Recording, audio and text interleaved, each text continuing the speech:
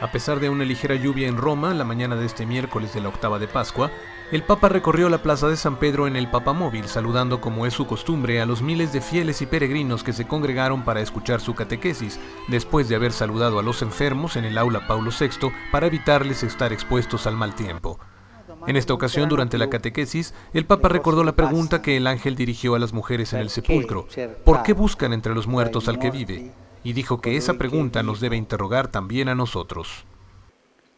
Ne abbiamo bisogno quando ci chiudiamo in una qualsiasi forma di egoismo o di autocompiacimento, quando ti lasciamo sedurre da poteri terreni e dalle cose di questo mondo, dimenticando Dio e il prossimo, quando poniamo le nostre speranze in vanità mondane, nel denaro, nel succeso.